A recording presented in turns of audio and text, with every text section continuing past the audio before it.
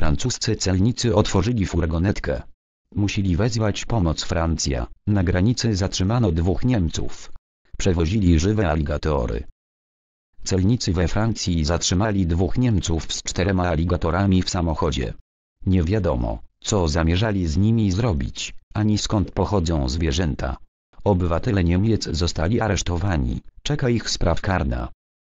Francuscy celnicy zatrzymali na granicy z Hiszpanią dwóch obywateli Niemiec, w których samochodzie odkryto cztery żywe aligatory, poinformował w czwartek wieczorem na swym portalu dziennik Le Parisien.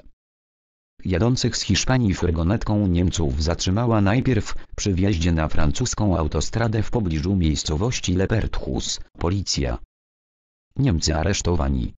Czeka ich sprawa karna podczas kontroli policjanci odkryli w przestrzeni ładunkowej auta cztery żywe aligatory.